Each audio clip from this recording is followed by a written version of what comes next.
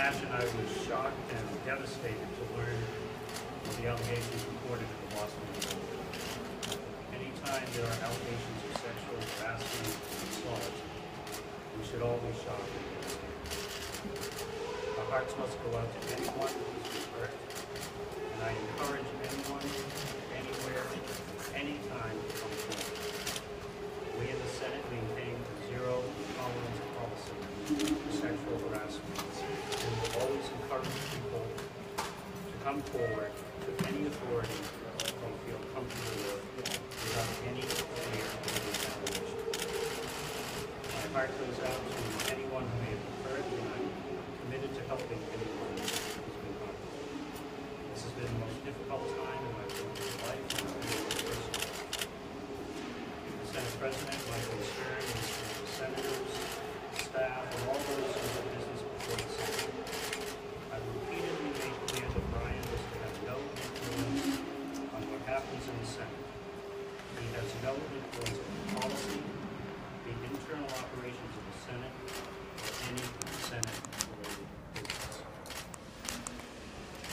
If Bryon claimed to have influence over my decisions or over the Senate, he should not have said that.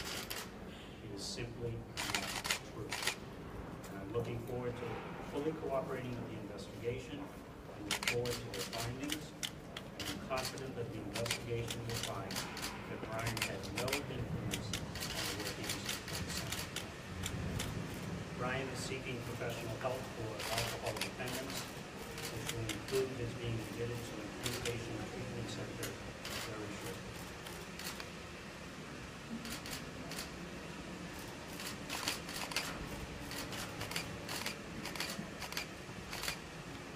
The last twenty-four hours were heartbreaking and difficult. I spent most of those hours processing those allegations, and I will continue to do so, even as Bryon prepares into treatment. And as you know, I never hesitate or shy away from questions, but today, because of the imminent investigation, I'm advised not to answer any questions. Mr. President, can you effectively leave the Senate